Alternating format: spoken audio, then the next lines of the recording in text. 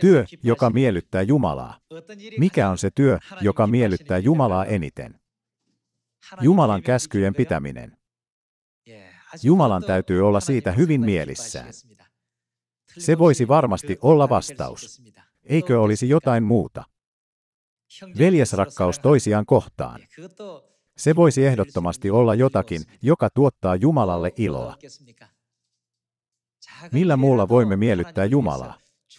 Jumala on tyytyväinen uskollisuuteen Jumalaa kohtaan pienissäkin asioissa. Se voi olla myös oikea vastaus. Monien Jumalaa miellyttävien asioiden joukossa Jumala sanoi, että häntä miellyttää pyrkimys löytää kadonneita sieluja julistamalla. Katsokaamme Efesolaiskirjeen luvun 5 jaetta 8. Ennen te olitte pimeys, mutta nyt te olette valoherrassa. Vaeltakaa valon lapsina, sillä valon hedelmä ilmenee kaikenlaisena hyvyytenä, vanhurskautena ja totuutena. Tutkikaa siis, mikä on Herralle mieleistä. Älkää osallistuko pimeyden hedelmättömiin tekoihin, pikemminkin nuhdelkaa niistä. On häpeällistä sanoakin, mitä tuollaiset ihmiset salassa tekevät. Mutta kaikki tulee ilmi, kun valo sen paljastaa, sillä kaikki, mikä tulee ilmi, on valoa.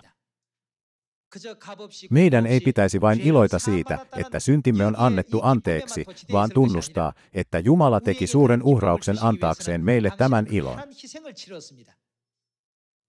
Nyt on meidän vuoromme miellyttää häntä. Mennään Matteuksen evankeliumin lukuun 25.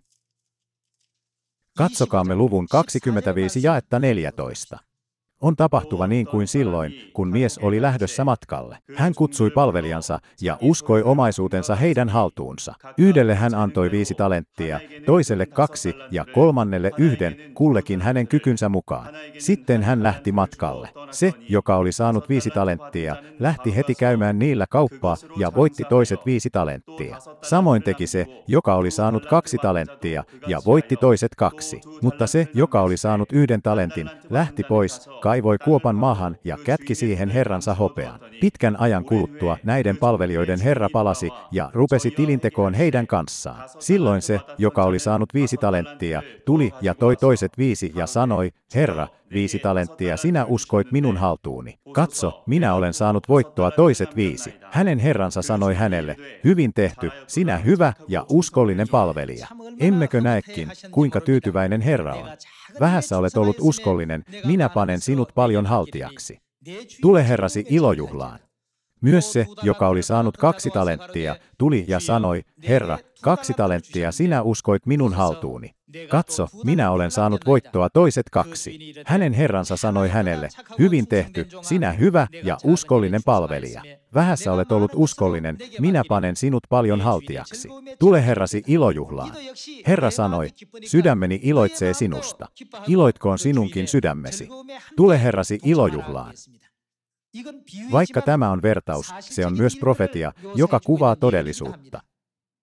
Siksi, kun ajattelemme sitä, mikä miellyttää Jumalaa, meidän ei pidä koskaan unohtaa sitä armollista tehtävää, jonka Jumala on meille antanut. Julistakaa tätä evankeliumia Samariassa ja maan ääriin saakka, ja pelastakaa monia sieluja.